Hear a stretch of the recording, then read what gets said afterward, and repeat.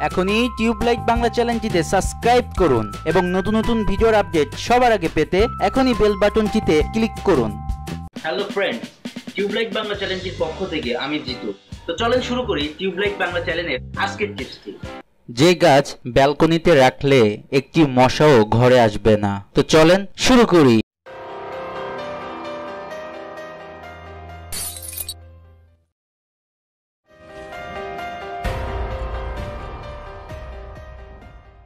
মশার জ্বালায় অস্থির হয়ে উঠছেন। একে তো মশার কামড়টাই বিরক্তকর। তার উপর মশার কামড়ে ভয়ঙ্কর সব রোগ হয়। ম্যালেরিয়ার মতো ভয়ঙ্কর রোগ তো ছিলই। এবার মশার কারণে জিকাও হচ্ছে এই পৃথিবীর বিভিন্ন দেশে। মশা তাড়াতে কত কিছুই তো ব্যবহার করলেন, কত কিছুই তো কিনলেন। হাজার হাজার টাকা শেষ করেও মশা থেকে রেহাই পাচ্ছেন না। এমনকি পৌরসভার কল্যাণে মশা মারতে কামানো তো দেখে ফেললেন। কিন্তু মশা তাড়াতে কোনো গাছের কথা শুনেছেন কখনো? কথাটি আজব মনে হলো সত্যি। মশা তাড়াতে গাছ লাগান, আর সেই গাছই আপনাকে রক্ষা করবে। সত্যি এক আজব গাছ, আবিষ্কার করেছে মার্কিন বিজ্ঞানীরা। গাছটির নাম সাইট্রোনেলা। খুব সহজেই গাছটি বাড়ির বারান্দায় অথবা ব্যালকনিতে লাগাতে পারেন। খুব বেশি জল কিংবা সারেরও দরকার পড়ে না। আর এই গাছ বেঁচেও থাকে অনেক বছর। এই গাছটি থেকে এক ধরনের সুগন্ধি বের হয়, যা মশার একেবারেই অপছন্দ।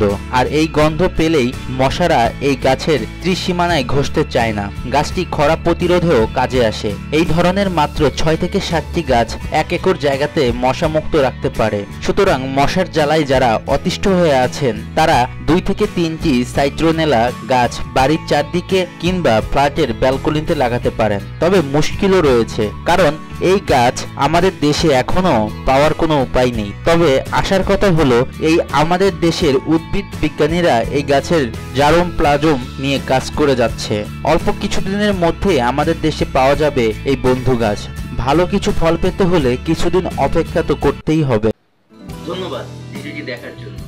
এই ভিডিওটি যদি আপনাদের কাছে বিন্দু পরিমাণ ভালো লেগে থাকে, তাহলে অবশ্যই এই ভিডিওটিতে একটা লাইক করবেন কমেন্ট করবেন এবং শেয়ার করতে ভুলবেন না। যারা এখনও টিউবলাইট বাংলা চ্যানেলটিকে সাবস্ক্রাইব করেননি, তারা অবশ্যই এখনই টিউবলাইট বাংলা চ্যানেলটিকে সাবস্ক্রাইব করে টিউবলাইট বাংলা চ্যানেলটির সাথেই থাকুন।